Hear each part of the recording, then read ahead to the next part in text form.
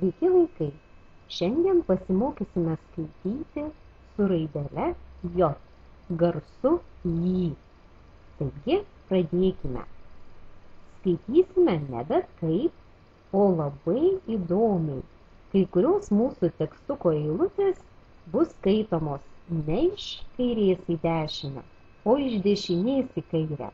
Taigi, būkite atidus, pradedame kur joji jonai kur joji jonai dėmesio skaitome iš kitos pusės į turgų ponai ką pirksi jonai dūdelę ponai padūduok jonai nemoku ponai Taigi, perskaitėme pono ir Jono pokalbį, kuris lyg ir primena dainelę. Kodėl vaiko žodžiai taip parašyti keistai? Netrukus galėsite paklausyti ir linksmos dainos apie dūdą įrašo. O dabar paklausykite Sigito gėdos eilėraštuko šimtas jūros arkliukų šimtas jūros arkliukų lekia be atvangos, šimtas jūros arkliukų. Nebijok, nebijok, šimtas jūros arkliukų, šimtas vienas mėly, o aplinkui jų snukiai, karčiai jų dideli, kojos, dantys ir akys, šimtas kojų šeimų, šimtas jūros arkliukų, be manęs, be namų, šimtą jūros arkliukų pirmą kartą matau, šimtą jūros arkliukų smėlyje suradau. Taigi, mes ne tik sausumoje žemėje matome arkliukus, yra tokie gyvūnėliai, jūros arkliukai, apie kuriuos šį gražų eilėraštuką ir sukūrė poetas Sigitas Geda.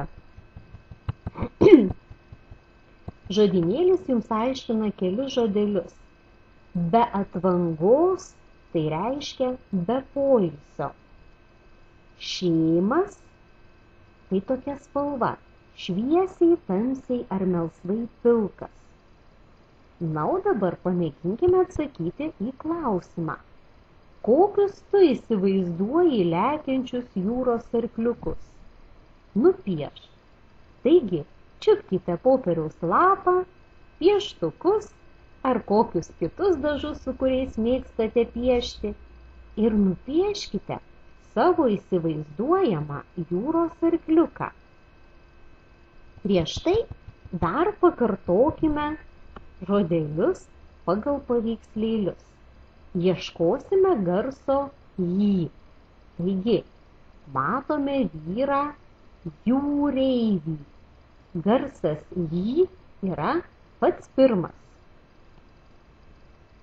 Čia žmogus joja ant žirgo. Joja žodyje yra net du garsai į. Tai pirmas ir viduje žodžio esantys garsai. Na, o šita gėlė ne rožė. Gal ką žinote, kaip ją vadiname? Galime pamatyti tokias gėlytės darželiuose. Jos gana aukštos, dideliais, ryškiais žiedais. Gal jau prisiminėte? Tai bijūnas.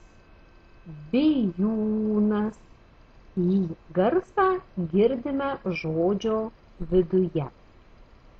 Taigi, perskaitėme istoriją, pasiklausysite dainelės, o dabar siūlau jums nupiešti jūros arkliuką. Sėkmės!